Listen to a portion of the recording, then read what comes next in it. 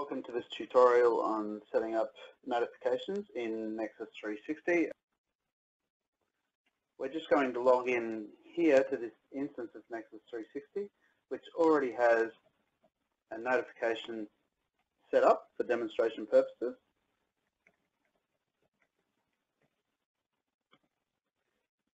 And as we enter our username and password, this is just example text purely, uh, for example, something that you might want to have in there in regards to protected health information and your hospital policy regarding that, reminding users that they're obliged to keep any information obtained within the system private.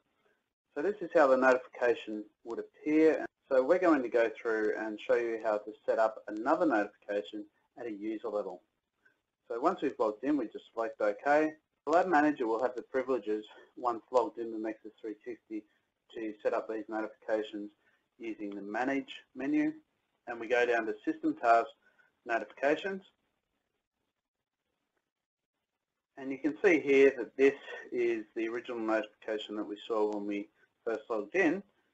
This is editable if we go over here and logged in with the appropriate privileges.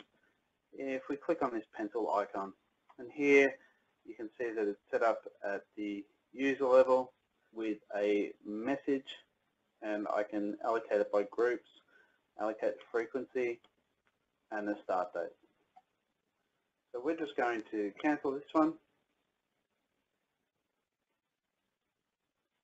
and add in a new notification here. This could be a system maintenance notification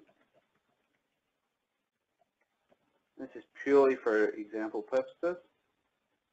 And we're going to add in some text that we would like to appear when the notification pops up. Once a text has been entered, we'll choose a particular group. Uh, if you don't want it to go to a particular group, you just leave this as it is and all groups will receive a notification.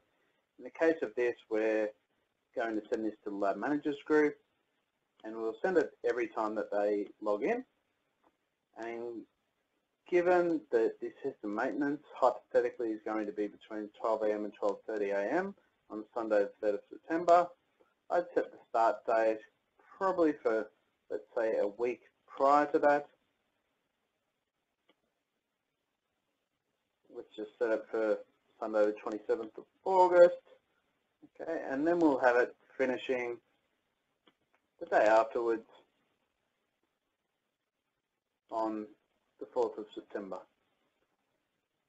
So once we've checked through and everything appears okay here, we're all happy with the notifications and the frequencies and uh, that we've chosen. We'll just select create and you'll see this new notification appear here. So what will happen is come the week beginning of the 27th of August, any lab manager logging in to the Lab Manager group will receive that notification giving them pre-warning that system maintenance is going to occur. Thank you for joining this tutorial.